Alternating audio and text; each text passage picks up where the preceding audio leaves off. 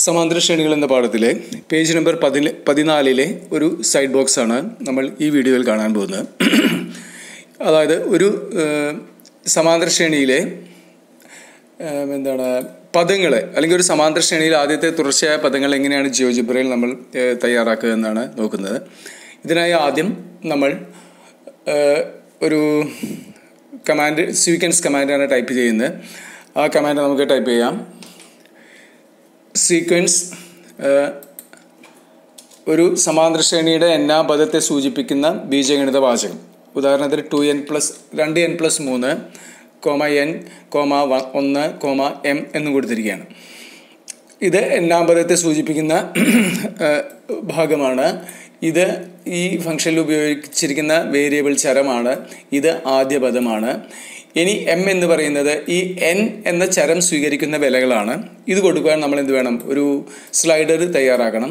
അപ്പോൾ നമ്മൾ എം എന്ന് പറയുന്ന ഒരു സ്ലൈഡർ അതിൽ ഒന്ന് മുതൽ ആദ്യത്തെ പത്ത് പദങ്ങളാണ് നമുക്ക് കാണേണ്ടെങ്കിൽ ഒന്ന് മുതൽ പത്ത് എന്ന് കൊടുക്കുന്നു. ഇൻക്രിമെന്റ് ഒന്ന് എന്ന് കൊടുക്കുന്നു. അപ്ലൈ കൊടുക്കുന്നു. ഇനി നമ്മളിപ്പോൾ ഈ ടൈപ്പ് ചെയ്തിരിക്കുന്ന ഈ സീക്വൻസ് നമ്മൾ എന്റർ ചെയ്ത് കഴിഞ്ഞാൽ അത് അവിടെ ഒരു സ്പേസ് അധികം വന്നിട്ടുണ്ട്. അപ്പോൾ കമാൻഡുകളിൽ ഒരു സ്പേസോ എന്തെങ്കിലും അടയാളമോ അടയാളങ്ങളോ അധികമോ കുറവോ വന്നു കഴിഞ്ഞാൽ അത് വർക്ക് ചെയ്യില്ല. ഇപ്പോൾ നമ്മളത് എന്റർ ചെയ്ത് കഴിഞ്ഞു. ഇനി നമ്മൾ ഒരു ടെക്സ്റ്റ് ബോക്സ് കൊണ്ടുവന്നിരുന്നു.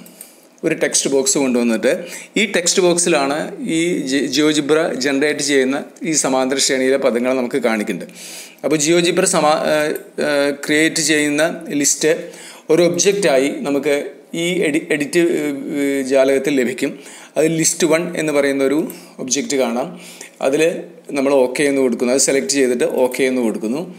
ഇനി വേണമെങ്കിൽ നമുക്ക് ഈ ടെക്സ്റ്റിന്റെ വലിപ്പം ഒന്ന് കൂട്ടാം. അല്ലെങ്കിൽ അതൊരു അതിന്റെ സൈസ് ലാർജ് ആക്കാം. ഇപ്പോൾ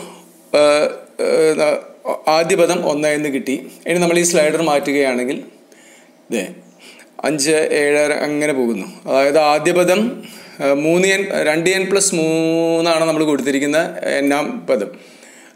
അതായത് നമുക്കത് ആൾജിബ്രയിൽ നോക്കാം. നമ്മൾ ടൈപ്പ് ചെയ്തിരിക്കുന്ന സൂത്രം ഇതാണ് സൂത്രവാക്യം ഇതാണ്. സീക്വൻസ് രണ്ട് എൻ പ്ലസ് മൂന്ന്. അപ്പോൾ പൊതുവ്യത്യാസം രണ്ടാണ് ആദ്യ പദം അഞ്ചുമാണ്. അങ്ങനെയുള്ള ഈ സമാന്തര ശ്രേണിയിലെ തുടർച്ചയായ പത്ത് പദങ്ങളാണ് നമുക്കിപ്പോൾ ഇവിടെ കാണാൻ സാധിക്കുന്നത്. ഇത് നമ്മൾ എമ്മിന് ഈ സ്ലൈഡറിന്റെ വില എത്രയാണോ കൊടുക്കുന്നത് അത്രയും പദങ്ങൾ നമുക്ക് ലഭിക്കും. ഉദാഹരണത്തിന് നമ്മളിവിടെ എമ്മിന്റെ വില കൂട്ടിയിട്ട് നമ്മളിപ്പോൾ പത്ത് എന്നുള്ളത് ഇരുപതാക്കിയെന്ന് വിചാരിക്കുക. അപ്പോൾ നമുക്ക് തുടർച്ചയായിട്ടുള്ള ഇരുപത് പദങ്ങൾ നമുക്കിതിൽ കാണിക്കാൻ സാധിക്കും. ഈ പറയുന്ന സംഖ്യാശ്രേണിയിലെ ഈ തുടർച്ചയായ ഇരുപത് പദങ്ങൾ നമുക്ക് കാണിക്കാൻ സാധിക്കും. അപ്പോൾ ഇങ്ങനെ ഏത് സമാന്തര ശ്രേണിയും നമുക്കിങ്ങനെ ജിയോജിബ്രയിലെ ഒരു ടെക്സ്റ്റ് ബോക്സിലേക്ക് ലിസ്റ്റായിട്ട് കൊണ്ടുവരാൻ സാധിക്കും. ഇനി ഇതിൽ പറഞ്ഞിരിക്കുന്ന മറ്റൊരു കാര്യം എന്താണ്? വർഗങ്ങളുടെ ശ്രേണി. ഉദാഹരണത്തിന് ഇതാ ഈ സീക്വൻസ് എന്താണ് ടൈപ്പ് ചെയ്തിരിക്കുന്നത് നോക്കും. സീക്വൻസ് എൻ ഈ എഴുതിയിരിക്കുന്നത് എൻ അപ്പർ ക്യാരറ്റ് ആണ്. ഇത് കീബോർഡിലെ അപ്പർ ക്യാരറ്റ് എന്ന് പറയുന്ന ഒരു സിമ്പിളാണ് അഥവാ എന്ത് ചെയ്യണം? ഷിഫ്റ്റ് പിടിച്ച് സിക്സ് ആറ് എന്നുള്ള കീ അമർത്തിയാൽ കിട്ടുന്ന അടയാളമാണ് അപ്പർ ക്യാരറ്റ് അപ്പോൾ എൻ അപ്പർ ക്യാരറ്റ് രണ്ട് എന്ന് പറഞ്ഞാൽ എൻ ഖാദം രണ്ട് അല്ലെങ്കിൽ എന്നിന്റെ കൃതി രണ്ട് എന്നാണ് നമ്മൾ ഉദ്ദേശിക്കുന്നത്. ഇത് കൊടുത്തു കഴിഞ്ഞാൽ എന്താണ് സംഭവിക്കുന്നത് നമുക്ക് നോക്കാം.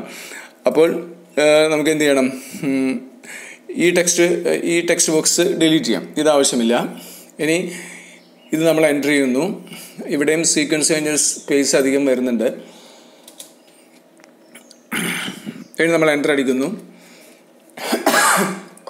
ഇനി മറ്റൊരു ടെക്സ്റ്റ് ബോക്സ് വീണ്ടും കൊണ്ടുവരുന്നു. ഇതിൽ ലിസ്റ്റ് ടു എന്നുള്ളതാണ് നമ്മൾ സെലക്ട് ചെയ്യുന്നത്. ഓക്കെ എന്ന് കൊടുക്കുന്നു. ഇനി അതിന്റെ സൈസ് നമുക്ക് ലാർജ് ആക്കാം. ലാർജ് ആക്കി കഴിഞ്ഞാൽ ഇപ്പോൾ നോക്കുക. എന്താണ്? എൻ സ്ക്വയറുകൾ എൻ സ്ക്വയർ എന്ന പൊതു എന്താണ് ബീജഗണിത രൂപമുള്ള ശ്രേണിയിലെ പദങ്ങളാണ് തുടർച്ചയായി ഇരുപത് പദങ്ങളാണ് നമുക്കിവിടെ കാണാൻ സാധിക്കുന്നത്. ഇങ്ങനെ സീക്വൻസ് എന്നുള്ള കമാൻഡ് ഉപയോഗിച്ച് നമുക്ക് ഒരു സമാന്തര ശ്രേണിയിലെ തുടർച്ചയായ പദങ്ങളെ നമുക്ക് ജിയോ ജിബ്രയിൽ ഒരു ലിസ്റ്റായിട്ട് ടെക്സ്റ്റ് ബോക്സിലേക്ക് കൊണ്ടുവന്ന് ഇങ്ങനെ പ്രിന്റ് ചെയ്യാൻ സാധിക്കും.